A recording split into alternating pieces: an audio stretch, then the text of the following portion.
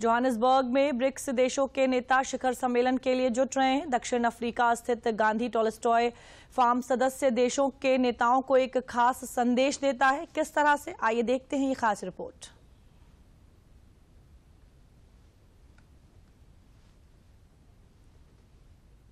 मोदी मंगलवार से शुरू होने वाली दक्षिण अफ्रीका और ग्रीस की यात्रा के पहले चरण के दौरान जोहान्सबर्ग में पंद्रहवें ब्रिक्स शिखर सम्मेलन में हिस्सा लेंगे। यह सम्मेलन मंगलवार से शुरू होगा और 24 अगस्त तक चलेगा।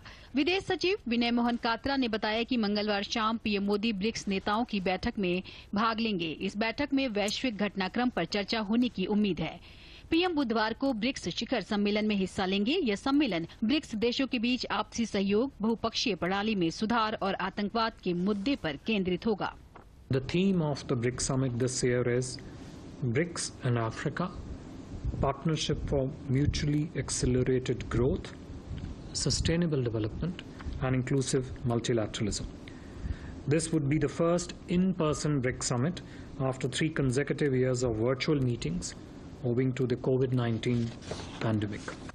विदेश सचिव ने बताया कि 24 तारीख को प्रधानमंत्री ब्रिक्स अफ्रीका संपर्क और ब्रिक्स प्लस डायलॉग में हिस्सा लेंगे। उन्होंने कहा कि दक्षिण अफ्रीका ब्रिक्स संगठन का वर्तमान अध्यक्ष है। पंद्रहवें ब्रिक्स शिखर सम्मेलन में भारत का एक व्यापारिक प्रतिनिधिमंडल भी हिस्सा ले रहा है। The participants are likely to deliberate on issues such as global economic recovery amid ongoing geopolitical challenges, sustainable development goals, something that would, I think, continue throughout the different sessions of the BRICS summit, women-led development, as also addressing the concern and interests and priorities of the global south.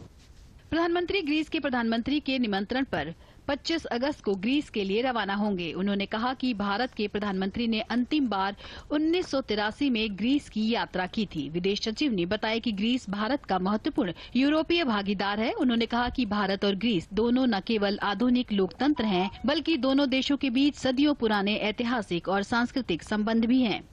During the Honourable Prime Minister's visit to Greece, both sides will look to expand and the trade and investment uh, segment of cooperation, deepen and expand the defence and security partnership, infrastructure cooperation, uh, shipbuilding industry, something which is uh, a great strength of Greece and where the opportunities, extensive opportunities is there, energy, agriculture, education, and as I mentioned earlier, migration and mobility. The visit would give both sides an opportunity to discuss also the regional and global issues of mutual interest and help broaden and deepen our bilateral engagement.